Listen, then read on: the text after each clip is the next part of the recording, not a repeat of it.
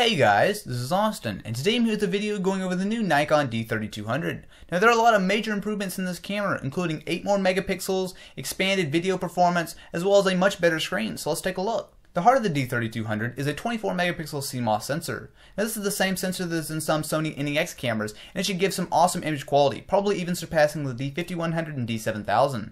On top of that, just based on megapixel count alone, this is the second highest camera in the Nikon range, only below the D800.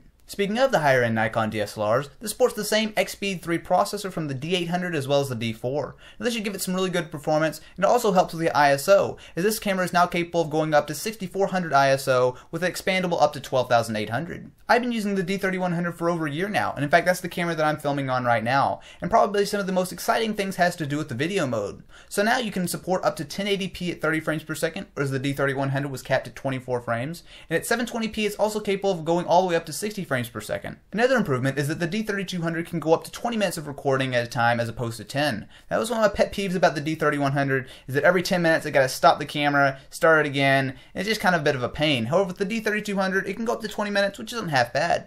On top of that, probably one of my favorite bits is that it now has a microphone input, so you can go ahead and hook up any kind of stereo mic to the D3200 and it will work no problem. They've also tweaked the body a little bit. So the grip is slightly redesigned. Honestly, I don't think it's going to be that big of a difference, but it is a little bit different. And they've also changed the live view. So instead of having the little toggle, instead you have a live view button on the back of the camera and the record button for video is up top. Uh, personally, I really like the way that the D3100 and the D5100 have done it, so I'm not entirely sure if I'm going to like this change, but hey, it's worth a shot. Another major improvement is the screen. So the D3100 definitely does not have the best screen in the world. It's very low resolution and not that easy to read outdoors. However, the D3200 now has a new 921,000 dot LCD, which is about four times the pixel density of the D3100. Unfortunately, it doesn't tilt or swivel or anything like that. However, it still is a nice upgrade. A new optional feature is a Wi-Fi dongle. So you can connect this to your D3200 and it will allow you to pair it with an Android phone at launch or an iOS device in the autumn once the app launches. And what this will allow you to do is control your camera from your device.